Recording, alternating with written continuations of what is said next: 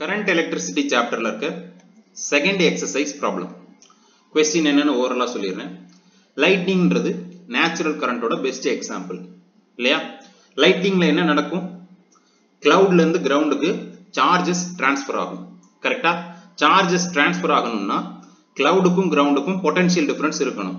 கரெக்டாக potential difference இங்கே இருக்குது எவ்வளோன்னா five into ten to the power seven volt charge transfer ஆனிச்சுன்னா கண்டிப்பா எனர்ஜியும் டிரான்ஸ்ஃபர் ஆகும். கரெக்டா கிளவுட்ல இருந்து கிரவுண்டுக்கு எனர்ஜியும் டிரான்ஸ்ஃபர் ஆகும். எவ்வளவு எனர்ஜி டிரான்ஸ்ஃபர் ஆகுதுன்னா ten to the power nine joule இதை ஏன் நான் டெல் யூன்னு எடுத்துக்கிட்டேன்?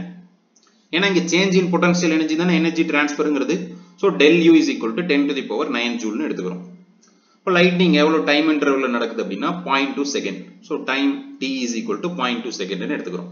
புரியுதா? ரைட் என்னெல்லாம் கேட்குறாங்க அப்படின்னா மூணு விஷயம் கேட்குறாங்க ஃபர்ஸ்ட் என்ன கேட்குறாங்க அப்படின்னா எவ்வளோ அமௌண்ட் ஆஃப் சார்ஜ் டிரான்ஸ்ஃபர் ஆகுதுன்னு கேட்குறாங்க கியூவோட வேல்யூ ஃபைன் பண்ணணும். அடுத்து கரண்ட்டோட வேல்யூ ஃபைன் பண்ணணும். அதாவது ஐ ஃபைன் பண்ணணும். அடுத்து பாயிண்ட் டூ செகண்டில் எவ்வளோ பவர் டெலிவர் ஆகுதுன்னு ஃபைன் பண்ணணும். அதாவது T is equal to point two second இல்லையா? அந்த டைம் இன்டர்வலில் எவ்வளோ பவர் டெலிவர் ஆயிருக்கு அப்படின்னு நம்ம ஃபைன் பண்ணணும். ஓகேவா கொஸ்டின் இதுதான். ஓகே ஸோ இப்போ ஃபர்ஸ்ட் என்ன கண்டுபிடிக்க போகிறோம் அப்படின்னா அமௌண்ட் ஆஃப் சார்ஜ் டிரான்ஸ்ஃபர் கண்டுபிடிக்க போகிறோம் இந்த ப்ராப்ளமை பொறுத்த வரைக்கும் இந்த மூணு ஃபார்முலாஸ் தெரிஞ்சிருந்தா போதும் ஈஸியா சால்வ் பண்ணிடலாம்.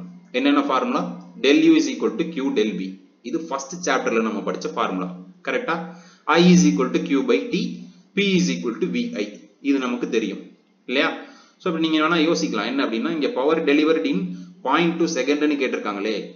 ஸோ அப்போ P is equal to V I டின்னு போடணுமான்னு யோசிக்கலாம். விஐ டின்னு போட்டால் அது என்ன ஆயிடும். எனர்ஜி ஆயிடும் கரெக்டா பவர்ன்றது என்னது? ரேட் ஆஃப் எனர்ஜி ஸோ அப்போ இது வந்து பார்த்தீங்கன்னா டைமை டிபெண்ட் பண்ணி இருக்காது. இல்லையா? பின்ற ஃபார்முலால டி வரவே வராது. கரெக்ட் தானே? P is equal to V I தான் ஃபார்முலா இப்போ இந்த மூணு ஃபார்முலா யூஸ் பண்ணி மூணு சப்டிவிஷனையும் நம்ம சால்வ் பண்ண போறோம். ஃபர்ஸ்ட் ஃபார்முலா என்னது? Del U is equal to Q del V Q தானே நம்ம கண்டுபிடிக்கணும்? So Q is equal to del U by del வின்னு எடுத்துக்கிறோம். ஜஸ்ட் ரீஅரேஞ்ச் பண்ணியிருக்கேன். Q is equal to del U by del V del யூவோட value என்னது? Ten to the power nine del வியோட value என்னது? Five into ten to the power seven substitute பண்ணிக்கிறோம். மேலே ten to the power nine இருக்கு. கீழே ten to the power seven இருக்கு. Cancel பண்ணலாமா? Cancel பண்ணால் என்ன கிடைக்கும்? டென் டு தி பவர் டூன்னு நியூமரேட்டரில் இருக்கும். டென் டு தி பவர் டூனா என்னது? ஹண்ட்ரட் இல்லையா? So hundred by five calculate பண்ணுங்க.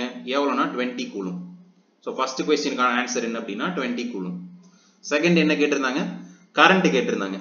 கரண்ட்டுக்கு என்ன formula Q by T Q நம்ம இப்போ தான் கண்டுபிடிச்சோம். Twenty divided by time interval அவங்களே கொடுத்துருந்தாங்க. பாயிண்ட் டூ கரெக்டா ஸோ இப்போ இங்கே கீழே பார்த்தீங்கன்னா பாயிண்ட் டூன்னு இருக்கு. ஸோ அந்த பாயிண்ட்டை கேன்சல் பண்ணுறதுக்காண்டி மேலேயும் கீழே டென்னால நம்ம மல்டிப்ளை பண்ணுறோம் ஓகேவா ஸோ இப்போ மேலே பார்த்தீங்கன்னா டூ ஹண்ட்ரட் இருக்கும். கீழே பார்த்தீங்கன்னா டூன்னு இருக்கும். So two hundred by two என்னது? ஹண்ட்ரட் ஸோ இப்போ I is equal to hundred ampere second கொஸ்டினுக்கான ஆன்சரும் ஃபைன் பண்ணிட்டோம். தேர்ட் என்ன கேட்டிருந்தாங்க? பவர் டெலிவர்டு ஃபார்முலா என்னது?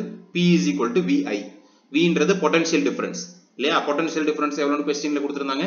Five into ten to the power seven I நம்ம இப்போ தான் கண்டுபிடிச்சோம். எவ்வளோனா ஹண்ட்ரட் ஸோ அப்போ five into ten to the power seven into hundred ஓகேவா ஹண்ட்ரட்னா என்னது? டென் ஸ்கொயர் அப்போ டென் டு தி பவர் டூன்னு இருக்க மாதிரி அர்த்தம். இல்லையா? செவன் பிளஸ் டூ எவ்வளவு? நயன் ஸோ அப்போ பவர் நம்ம கேல்குலேட் பண்ணிட்டோம். Five into ten to the power nine பவரோட unit watt okay தானே? ரைட் ஸோ கடைசியாக மூணு சப்டிவிஷனோட ஆன்சர் இது அப்படின்னு எடுத்து எழுதிட்டா போதும். எதனா டவுட் இருந்துச்சுன்னா கேளுங்க.